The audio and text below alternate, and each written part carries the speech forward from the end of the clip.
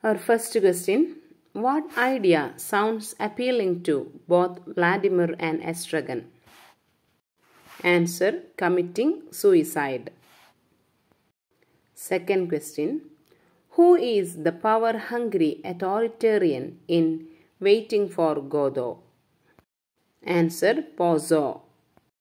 Our third question The prologue to the School for Scandal is written in rhymed couplets by Answer David Garrick. Fourth question The epilogue to The School for Scandal includes an elaborate parody of a famous speech in Shakespeare's Othello. Fifth question Who is the protagonist of the story's story in Nagamandala? Answer Rani. Sixth question Which magical root is used by Rani to make curry?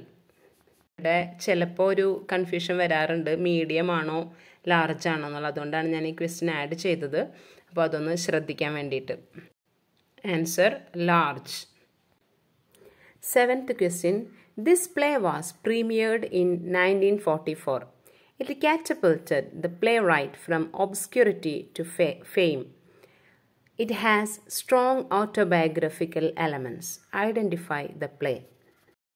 Catapulted means പെട്ടെന്ന് തന്നെ fame കിട്ടുക അതുപോലെ ഒബ്സ്ക്യൂരിറ്റി നമുക്കറിയാം അവ്യക്തത അപ്പം അതിൽ ഒരു line ഇത്തിരി ബുദ്ധിമുട്ടുണ്ട്. അതാണ് ഞാൻ എക്സ്പ്ലെയിൻ ചെയ്തത്. ഒന്നുമല്ലാതിരുന്ന ഒരു റൈറ്റർ പെട്ടെന്ന് ഒരു നല്ല പ്ലേ റൈറ്റായി മാറി. അപ്പോൾ ഏതാണ് ആ play answer Glass Menagerie eighth question what does the coffin symbolize in the Glass Menagerie answer Tom's own life situation ശരിക്കും പറഞ്ഞ ടോമിന് നല്ലൊരു ലിറ്റററി ഫിഗർ ആവാനാണ് ആഗ്രഹം. പക്ഷേ he's tied down to a demanding family and mindless job so he symbolizes the coffin next question ninth one a person's self perpetual denial can impact those around him and include them this is the moral lesson of which play answer Arthur Miller's Death of a Salesman അപ്പോൾ ഇങ്ങനത്തെ ഒരു രണ്ട് മൂന്ന് questions ഏതാണ്ട് ഈ ടൈപ്പിലൊക്കെ നമ്മൾ expect ചെയ്തേ പറ്റുള്ളൂ. കാരണം അതായിരിക്കും മിക്കവാറും നമ്മളുടെ റാങ്ക് നിർണയത്തിൽ കൂടുതൽ പങ്ക് വഹിക്കുന്നത്. കുറച്ച് ടഫ് ക്വസ്റ്റ്യൻസ് അപ്പോൾ അതിനുമായി അതിനോട് നമ്മൾ കുറച്ച് റെഡി ആയിരിക്കണം. Okay that's why I included these type of questions tenth one in the Death of a Salesman dash believes that charming personality and not necessarily hard work and innovation is the key to success. Answer Willy Loman അപ്പോൾ നമ്മൾ ആ five play already ചെയ്തിട്ടുണ്ടായിരുന്നു. Five പ്ലേയിൽ നിന്നുകൊണ്ടുള്ള രണ്ട് questions വെച്ചിട്ട് ten questions ആണ് നമ്മൾ ഇതിലും ചെയ്തത്.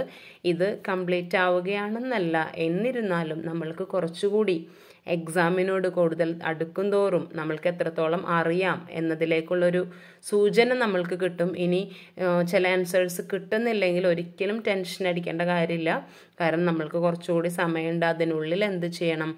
നമ്മൾ കുറച്ചുകൂടി പ്രിപ്പയർ ചെയ്യാനായിട്ട് ശ്രമിക്കുക. ചിലപ്പോൾ ഇതുപോലത്തെ ക്വസ്റ്റ്യൻസ് ആയിരിക്കും വരെ ചിലപ്പോൾ ഇതുപോലെ ആവില്ല. അപ്പോൾ ഒരിക്കലും ടെൻഷൻ അടിക്കാൻ നിൽക്കരുത്. നമ്മൾ കൂടുതൽ കൂടുതൽ ചെയ്തുകൊണ്ടേയിരിക്കുക. അപ്പോൾ നമ്മൾക്കിത് എക്സാമിന് എന്തായാലും ഹെൽപ്ഫുൾ ആയിരിക്കും. Okay thank